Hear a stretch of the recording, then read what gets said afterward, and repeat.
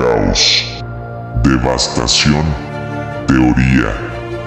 Esta no es una licencia absoluta.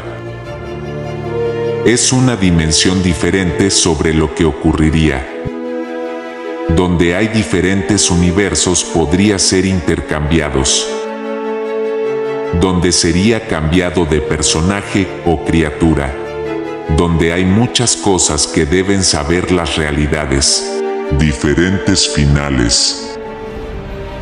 En esta serie, exploraremos lo que pasaría de las posibilidades después.